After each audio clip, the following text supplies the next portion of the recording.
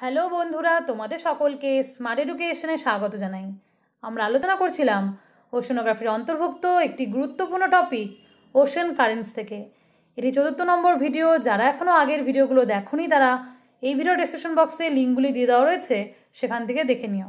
আজকে আমরা আলোচনা করব ভারত মহাসাগরীয় সমুদ্র স্রোত থেকে। ভিডিওটি শেষ পর্যন্ত দেখার জন্য অনুরোধ রইল, তাহলে শুরু করছি আজকের আলোচনা। প্রথমে জেনে নেব ভারত মহাসাগরীয় সমুদ্র স্রোতে প্রকারভেদ। ভারত মহাসাগরীয় সমুদ্র স্রোত দুটি ভাগে ভাগ রয়েছে। প্রথমটি উত্তর ভারত মহাসাগরীয় স্রোত এবং দ্বিতীয়টি দক্ষিণ ভারত মহাসাগরীয় স্রোত। এই দুটি স্রোতের অন্তর্ভুক্ত কী কী স্রোত রয়েছে তা জেনে নেব। প্রথমে রয়েছে উত্তর ভারত মহাসাগরীয় স্রোত। উত্তর ভারত মহাসাগরীয় স্রোতের অন্তর্ভুক্ত প্রথমে রয়েছে উষ্ণ মৌসুমি স্রোত। এখানে উষ্ণ মৌসুমি স্রোতের অবস্থান রয়েছে। এখন আমরা শুধুমাত্র অবস্থানগুলো জেনে নিচ্ছি, এরপরে আমরা গতিপথগুলো নিয়ে আলোচনা করব। এবং রয়েছে উষ্ণ সোমালি স্রোত। এখানে নিরক্ষরেখা থেকে ক্রমশ কুমেরুর দিকে প্রবাহিত হচ্ছে, তাই এটি উষ্ণ প্রকৃতির এবং সোমালি স্রোতের অবস্থান লক্ষণীয় এবং রয়েছে উষ্ণ উত্তর নিরক্ষীয় স্রোত। যেহেতু নিরক্ষরেখার কাছাকাছি রয়েছে, তা এটি হলো উষ্ণ প্রকৃতির হয়ে থাকে। এবং দ্বিতীয় ভাগটি রয়েছে দক্ষিণ ভারত মহাসাগরীয় স্রোত। দক্ষিণ ভারত মহাসাগর স্রোতের অন্তর্ভুক্ত রয়েছে উষ্ণ দক্ষিণ নিরক্ষীয় স্রোত। এটিও নিরক্ষরেখার কাছাকাছি, তাই এটি উষ্ণ প্রকৃতির এবং দক্ষিণ নিরক্ষীয় স্রোতের অবস্থান রয়েছে। এরপরে রয়েছে উষ্ণ নিরক্ষীয় প্রতিস্রোত। দক্ষিণ নিরক্ষীয় ঠিক উত্তরে রয়েছে নিরক্ষীয় প্রতিস্রোত এবং রয়েছে উষ্ণ মাদাগাস্কার স্রোত। এখানে মাদাগাস্কার স্রোতের অবস্থান লক্ষণীয় রয়েছে এবং এটি দক্ষিণ নিরক্ষীয় স্রোতের একটি শাখা। এরপর রয়েছে উষ্ণ মৌজাম্বিক স্রোত। এটিও উষ্ণ প্রকৃতির, যেহেতু নিরক্ষীয় অঞ্চল থেকে ক্রমশ প্রবাহিত হচ্ছে, তাই এটি উষ্ণ প্রকৃতির।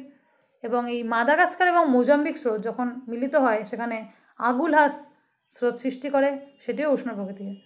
এরপরে রয়েছে, এখানে শীতল হবে, শীতল পশ্চিম অস্ট্রেলীয় স্রোত। এখানে রয়েছে, এটি পশ্চিমা স্রোতের একটি শাখা এবং রয়েছে শীতল পশ্চিমা স্রোত। এটি কুমেরু মহাসাগর থেকে ক্রমশ নিরক্ষরেখার দিকে প্রবাহিত হচ্ছে এবং এটি শীতল প্রকৃতির, তাই এটি কুমেরু স্রোত নামেও পরিচিত। এভাবে আমরা দুটি উত্তর এবং দক্ষিণ ভারত মহাসাগরের সমুদ্র স্রোত থেকে আলোচনা করলাম। এরপর আমরা গতিপথ নিয়ে আলোচনা করব। তাহলে দেখে নিই উত্তর ভারত মহাসাগর সমুদ্র স্রোতের কী গতিপথগুলো রয়েছে? উত্তর ভারত মহাসাগর সমুদ্র স্রোতের গতিপথ লেখো। ভারত মহাসাগরের উত্তর ভাগে সমুদ্র স্রোত মৌসুমি বায়ু দ্বারা নিয়ন্ত্রিত হওয়ায় ঋতু অনুসারে সমুদ্র স্রোতের বিপরীত মুখে দিক পরিবর্তন করে থাকে। এই উত্তর ভারত মহাসাগর সমুদ্র মধ্যে রয়েছে উষ্ণ মৌসুমি স্রোত, তার প্রভাবও জেনে নেব এবং পাশে চিত্র রয়েছে সেখানে লক্ষ্য করব। উত্তর ভারত মহাসাগরের পশ্চিম উপকূলে, এখানে পশ্চিম উপকূল এবং সেই উষ্ণ সোমালি স্রোত, তা মৌসুমি বায়ুপ্রবাহ দ্বারা প্রভাবিত হয়ে ঋতুভিত্তিক বিপরীতমুখী যে উষ্ণ স্রোত সৃষ্টি করে ঋতুভিত্তিক বিপরীতমুখী স্রোতের সৃষ্টি করে এবং তা উষ্ণ প্রকৃতির হয়ে থাকে এবং এটি হলো মৌসুমি স্রোত। এই মৌসুমি স্রোতের দুটি ভাগ রয়েছে। প্রথমটি হলো গ্রীষ্মকালীন এবং দ্বিতীয়টি হলো শীতকালীন মৌসুমি স্রোত। গ্রীষ্মকালীন এবং শীতকালীন মৌসুমি স্রোতের প্রবাহপথ কী রয়েছে তা আমরা চিত্রের মাধ্যমে দেখে নেব।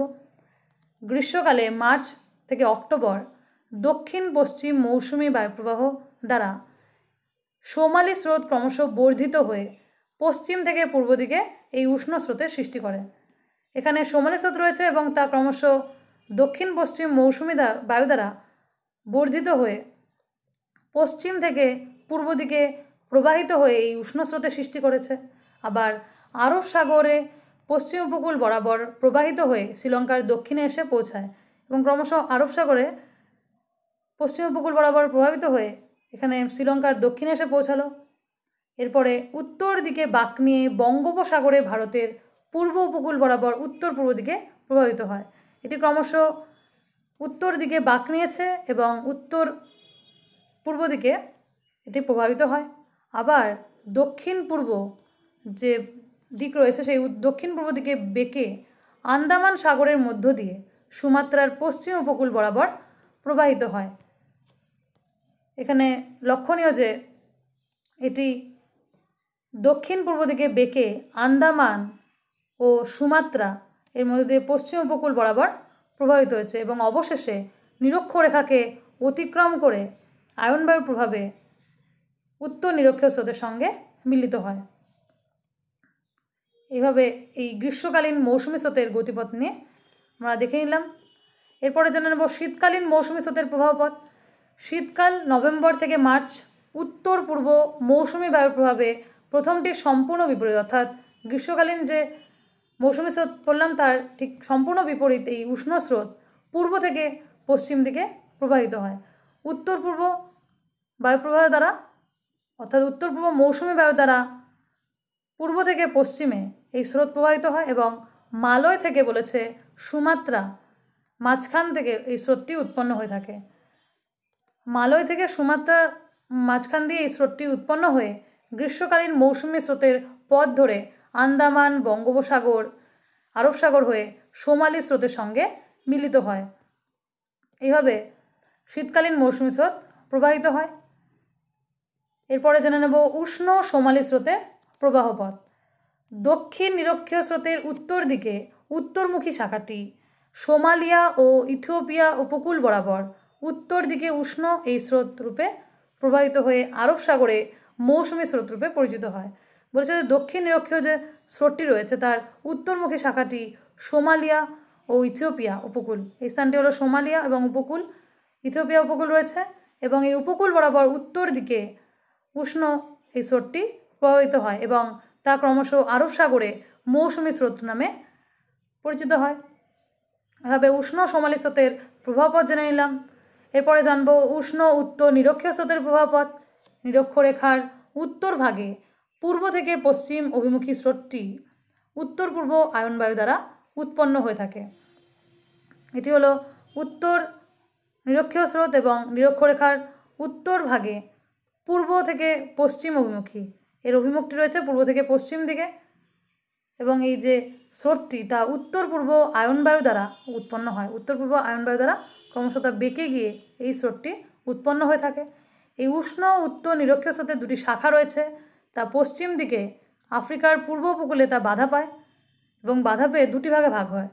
প্রথম যে উত্তরমুখী শাখা, তা সোমালি স্রোত রূপে পরিচিত হয় এবং অর্থাৎ এখানে এখানে যে উত্তরমুখী শাখাটি, তা সোমালি স্রোতের সঙ্গে এবং দক্ষিণমুখী শাখাটি নিরক্ষীয় প্রতিস্রোত রূপে পরিচিত হয়ে থাকে। তাহলে আমরা দুটি শাখা দেখে নিলাম, উষ্ণ, উত্তর, নিরক্ষীয় স্রোতের এরপরে জানব দক্ষিণ ভারত মহাসাগরীয় সমুদ্র স্রোতের গতিপথ। দক্ষিণ ভারত মহাসাগরীয় সমুদ্র স্রোতের প্রভাবপথে বলেছে যে, ভারত মহাসাগরের দক্ষিণাংশে দক্ষিণ নিরক্ষীয় মাদাগাস্কার। এখানে মাদাগাস্কার স্রোত রয়েছে। এরপরে এখানে প্রথমে দক্ষিণ নিরক্ষীয় স্রোত, মাদাগাস্কার স্রোত, আগুলহা স্রোত, পশ্চিমা স্রোত ও পশ্চিম অস্ট্রেলিয়া স্রোত। এই স্রোতটি ঘড়ির কাটার বিপরীত দিকে। দেখা যাচ্ছে যে ঘড়ির কাটার বিপরীত দিকে ক্রমশ প্রবাহিত হয়েছে এবং এখানে একটি গায়র সৃষ্টি করেছে, তা ইন্ডিয়ান ওশান গায়র নামে পরিচিত। এবং এইভাবেই দক্ষিণ ভারত মহাসাগরের সমুদ্র স্রোত প্রবাহিত হয়। এই দক্ষিণ ভারত মহাসাগর স্রোতের অন্তর্ভুক্ত স্রোত রয়েছে উষ্ণ দক্ষিণ নিরক্ষীয় স্রোত। তার গতিপথ নিয়ে জেনে নেব, যে পূর্ব প্রান্তে পশ্চিম অস্ট্রেলীয় স্রোত। পশ্চিম অস্ট্রেলীয় স্রোত রয়েছে তা দক্ষিণ পূর্ব আয়নবায়ু দ্বারা। দক্ষিণ পূর্ব আয়নবায়ু দ্বারা ক্রমশ প্রভাবিত হয়ে পূর্ব থেকে পশ্চিমে প্রবাহিত হয়েছে এবং একটি উষ্ণ স্রোতের সৃষ্টি করে যা দক্ষিণ নিরক্ষীয় স্রোত নামে পরিচিত। এবং এই স্রোতটি গ্রীষ্মকালে শক্তিশালী ও দ্রুতগামী হয়ে থাকে। এবং এই উষ্ণ দক্ষিণ নিরক্ষীয় স্রোত তিনটি শাখায় বিভক্ত। উত্তর শাখাটি নিরক্ষীয়, প্রতিস্রোতে মিলিত হয় এবং দুটি দক্ষিণ শাখা দুই উপকূল বরাবর প্রবাহিত হয়। এখানে দেখা যাচ্ছে যে এর উত্তর শাখাটি নিরক্ষীয়, প্রতিস্রোতের সঙ্গে মিলিত হয়েছে এবং দক্ষিণ শাখাটি দুটি উপকূল বরাবর একটি মোজাম্বিক এবং একটি হলো মাদাগাস্কার স্রোত রূপে পরিচিত হয়।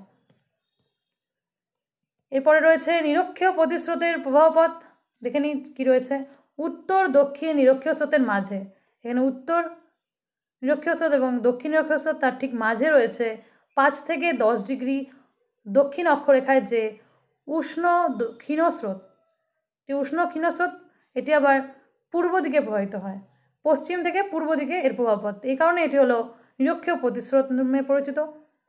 এবং পূর্ব প্রান্তে এটি মৌসুমী স্রোতের সঙ্গে মিলিত হয়ে, এটা পূর্ব প্রান্তে মৌসুমী স্রোতের সঙ্গে মিলিত হয়। এখানে যে মৌসুমী স্রোত, তার সাথে মিলিত হয়ে যায়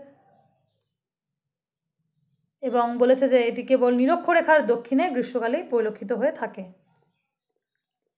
এরপরে জানব উষ্ণ মাদাগাস্কার স্রোতের গতিপথ। দক্ষিণ নিরক্ষীয় স্রোত দক্ষিণ বিমুখী একটি শাখা মাদাগাস্কার দ্বীপের পূর্ব উপকূল বরাবর কুড়ি ডিগ্রি দক্ষিণ অক্ষরেখা থেকে দক্ষিণে প্রভাবিত হয়ে এই উষ্ণ স্রোতের সৃষ্টি হয়েছে।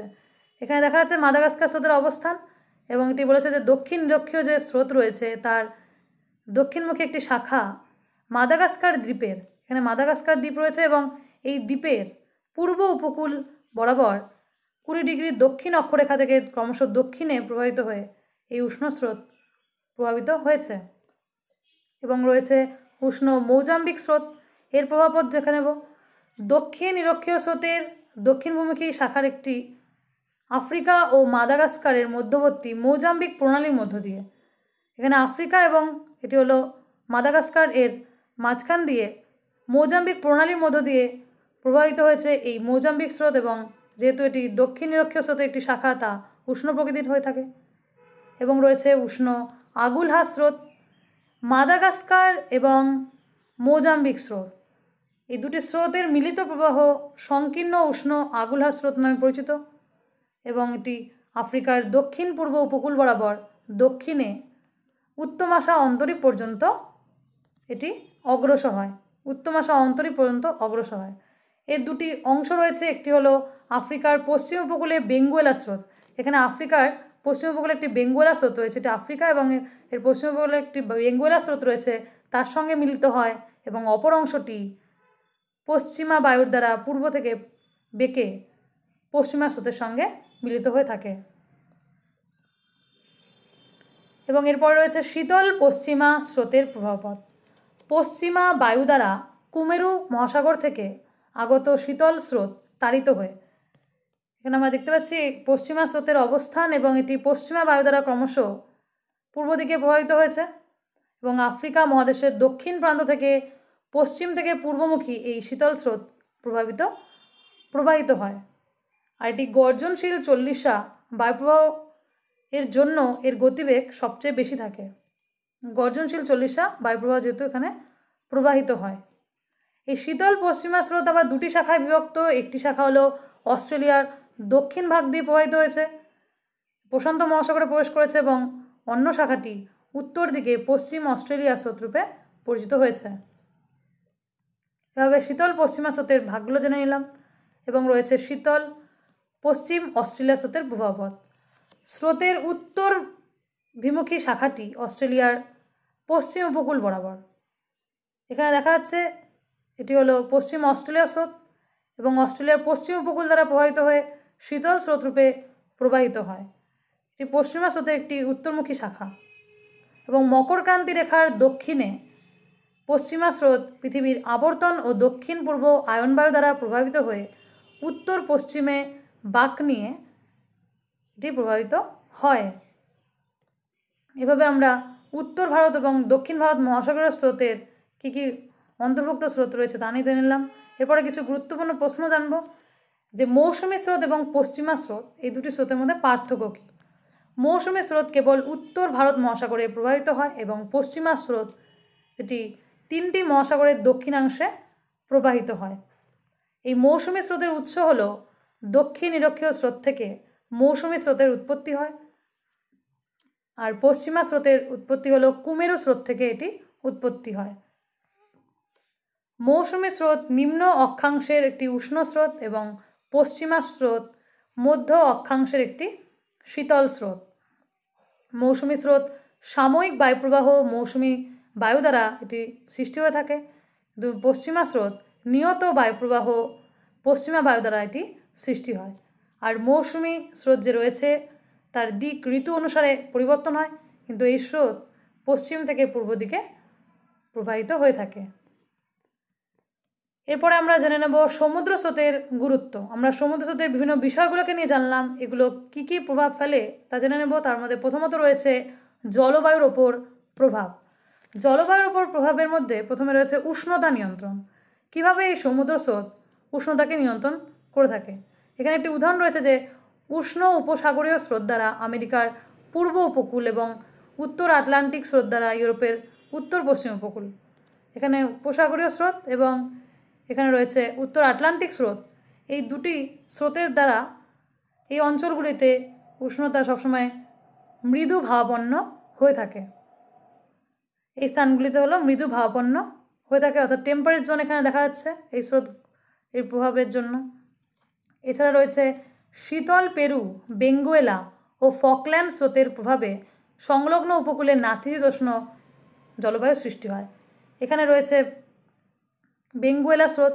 এই বেঙ্গুয়েলা স্রোত প্রবাহের জন্য এখানে নাতিশীতোষ্ণ দেখা যাচ্ছে, যে টেম্পারেট জোন সৃষ্টি হয়েছে।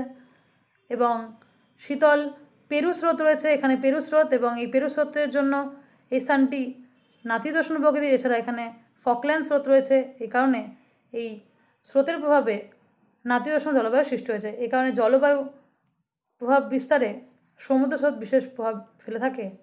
এরপর রয়েছে ঝড় ঝঞ্ঝা। ওয়াশীয় ও কুরেশীয় যে স্রোত এবং উপসাগরীয় ও ল্যাব্রাডার স্রোতের মিলনের ফলে জাপান ও নিউ ফাউন্ডল্যান্ড এই উপকূল অঞ্চলগুলোতে ঝড় ঝঞ্ঝা তৈরি হয়ে থাকে। কারণ এখানে উষ্ণ এবং শীতল স্রোত দুটি ক্রমশ মিলিত হওয়ার কারণে এখানে ঝড় ঝঞ্ঝা তৈরি হয়ে থাকে। এবং বৃষ্টিপাত বলেছে যে, উষ্ণ উপসাগরীয় স্রোতের প্রভাবে যুক্তরাজ্যের পশ্চিম উপকূলে বৃষ্টিপাত হয়। এলনিনো ও লানিনার প্রভাবে প্রশান্ত মহাসাগরের তীরবর্তী অঞ্চলে দু থেকে সাত বছর অন্তর খরা ও বন্যা সৃষ্টি হয়ে থাকে। এছাড়া তুষারপাত বলেছে যে, শীতল ল্যাব্রাডার স্রোত ল্যাব্রাডার উপকূলে উপকূলে তুষারপাত ঘটায়। অর্থাৎ এই স্থানে ল্যাব্রাডার স্রোত যেখান দিয়ে আসে সেখানে তুষারপাত ঘটিয়ে থাকে।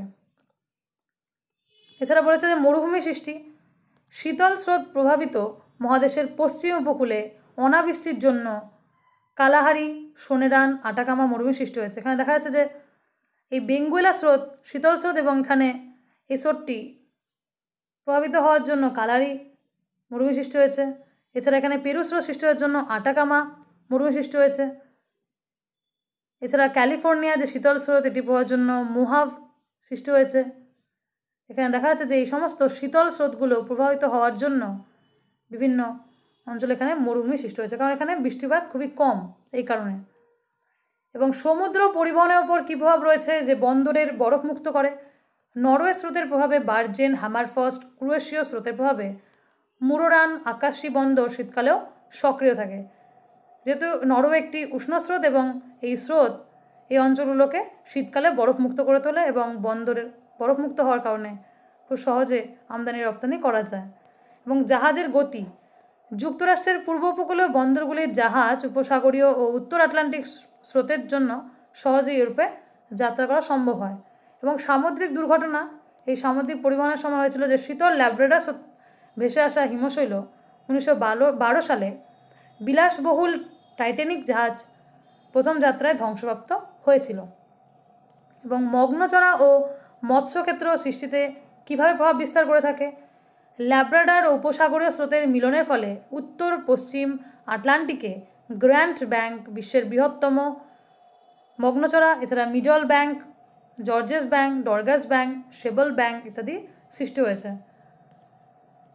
এছাড়া সমুদ্র জলের লবণতা নিয়ন্ত্রণে কীভাবে প্রভাব বিস্তার করে থাকে সমুদ্র স্রোত? উষ্ণ উপসাগরীয় স্রোতের লবণাক্ত জল, নরওয়ে ও উত্তর সাগরে নিরক্ষীয় স্রোত, মেক্সিকো উপসাগরে লবণতা বৃদ্ধি করে থাকে। এগুলো সমস্ত এখানে রেড কালার দেখানো হয়েছে, তার সমস্ত হলো উষ্ণ স্রোত। এবং এখানে স্যালাইনিটির মাত্রা দেখানো রয়েছে যে লবণতা এই স্থানগুলোতে অত্যাধিক। কারণ এগুলো উষ্ণ প্রকৃতির এবং এখানে লবণতার মাত্রা অত্যাধিক থাকে। এই কারণে লবণতা বৃদ্ধি করতেও সাহায্য করে। এছাড়া সমুদ্র জলের উষ্ণতা নিয়ন্ত্রণে কীভাবে প্রভাব বিস্তার করে থাকে? সমুদ্র স্রোত। সমুদ্র জলের উষ্ণতা নিয়ন্ত্রণে বলেছে যে, উষ্ণ উত্তর আটলান্টিক স্রোত। ইউরোপের উত্তর পশ্চিম উপকূলের সমুদ্র জলকে উষ্ণ করে তোলে। এই স্থানের জলকে উষ্ণ প্রকৃতির করে তোলে। আবার শীতল ল্যাব্রেটার স্রোত উত্তর আমেরিকার উত্তর পূর্ব উপকূলের জলকে শীতল করে বরফাবৃত করে তোলে। আমেরিকার যে উত্তর পূর্ব উপকূল রয়েছে, সেই স্থানে জলকে শীতকালে বরফাবৃত করে তোলে।